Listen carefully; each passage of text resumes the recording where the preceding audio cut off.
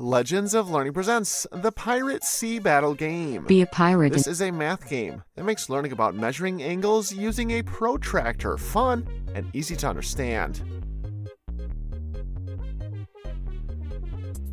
In this Let's go to the informative next- instructional game, sail your pirate ship across the sea and get ready for the battle. Your goal is to shoot the treasure ship and get your loot. For every angular hit with your cannon, you will strike gold.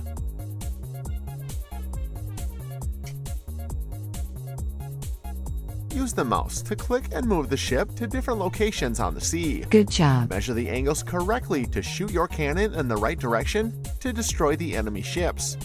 The more ships you destroy, the more treasure you will collect.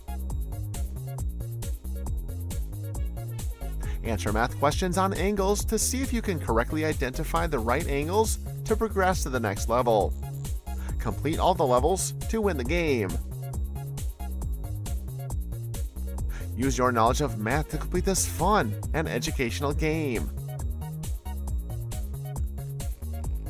Have fun and enjoy playing.